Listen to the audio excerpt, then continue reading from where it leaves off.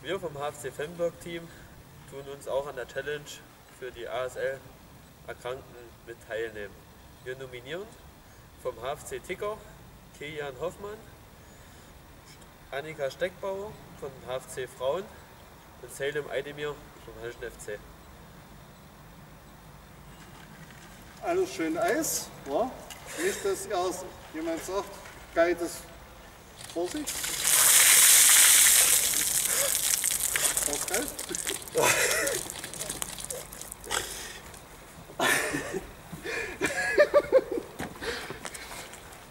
Aussehen. Und